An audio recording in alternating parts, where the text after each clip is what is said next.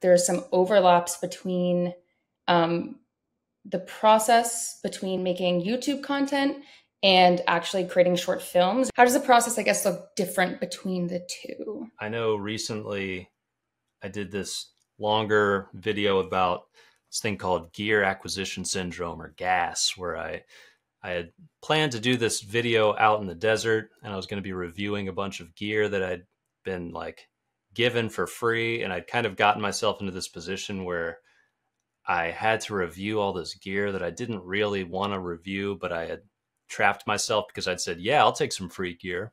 And so I was like, I'm just going to put them all into this one video. And the shoot went kind of south. I didn't know what to do. And then I decided to take that footage and just go treat that whole experience like a story and more like a film or like a documentary almost. That was one of the only times where I've written a YouTube video out in like acts. So, you know, like act one, act two, act three.